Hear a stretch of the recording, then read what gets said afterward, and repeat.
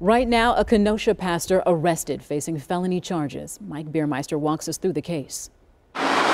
Gabriel Mills, once a pastor at Journey Church, now facing felony charges. Court documents say Mills was holding a small church group meeting on September 22nd when one of the victims handed Mills his phone to download an audiobook app, and that Mills had the phone for a really long time attempting to download the book. When the victim's wife came upstairs, the complaint says she noticed Mills holding his phone close to his chest. As he moved the phone to his side, the wife could see a picture she only sent to her husband. She tapped on Mill's phone, which she says revealed an intimate photo of her. The court documents say Mills then turned white as a ghost and began to tremble and apologize. Investigators searched Mills' phone and discovered that he used the airdrop setting to retrieve two pictures.